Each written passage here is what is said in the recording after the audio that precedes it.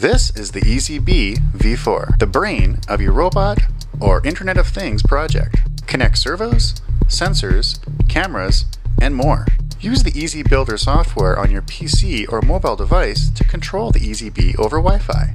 At the bottom of your EZB is the power connector. Here is the speaker for streaming audio of MP3s, sound effects,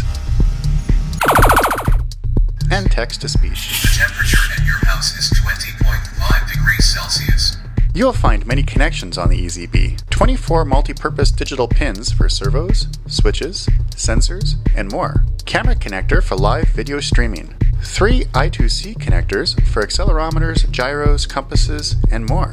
Eight 10-bit ADC inputs. And a high-speed buffered UART. The EZB V4 inserts into a robot body or a power base. Wait for the notification chime and connect to the EZB over its Wi-Fi network. The built-in web server allows you to configure additional settings, such as connecting the EZB to your local network or adding password protection. Information and error messages are spoken verbally. I have successfully connected to your network. My battery is low.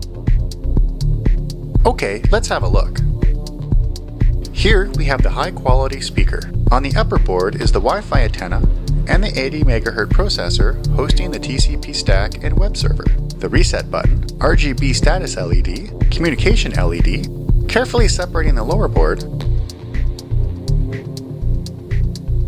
the efficient digital switching power supply, 120 MHz Cortex ARM processor with heatsink, audio amplifier, current limiting resistors.